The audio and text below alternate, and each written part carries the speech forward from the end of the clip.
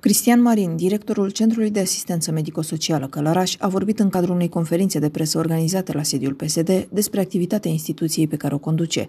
Acesta a precizat că în luna decembrie anul trecut toate persoanele instituționalizate în centru au fost infectate cu COVID-19.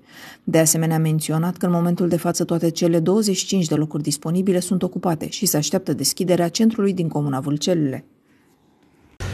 După cum mulți dintre dumneavoastră cunoașteți, în luna octombrie 2020 am preluat funcția de director al Centrului de Asistență Medico-Socială Călăraș.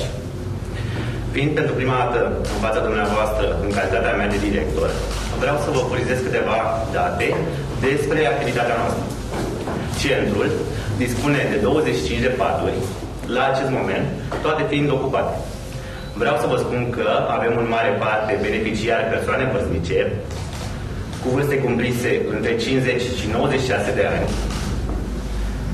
Vreau să vă informez că în luna decembrie 2020 toți beneficiarii centrului au fost infectați cu noul coronavirus.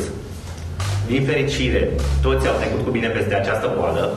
Pe această cale vreau să le mulțumesc colegilor au, de- au depus eforturi deosebite pentru ca beneficiarii să fie îngrijiți. Uh, Vreau să vă zic că parte din personalul medical a fost carantinat în centru timp de 14 zile.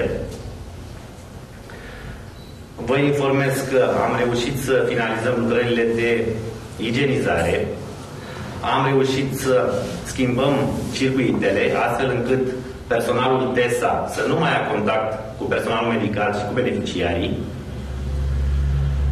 Vreau să vă zic că o altă componentă a Centrului de Asistență Medico-Socială Călăraș o reprezintă Centrul de la Vâlcelele. Acolo așteptăm aprobarea bugetului pentru anul 2021 pentru a demara lucrările de investiție privind alimentarea cu gaze. Acolo este necesară instalarea a două recipiente pentru gaz butan, iar acest, după această lucrare, centrul va putea fi dat în folosință. Vreau să vă mai spun că în calitatea mea de președinte executiv al Tineretului Social Democrat, în această săptămână desfășurăm acțiunea Donează Viață. Prin această acțiune ne propunem ca peste 50 de persoane tinere să doneze sânge prin centrul de transfuzii sanguine Călărași.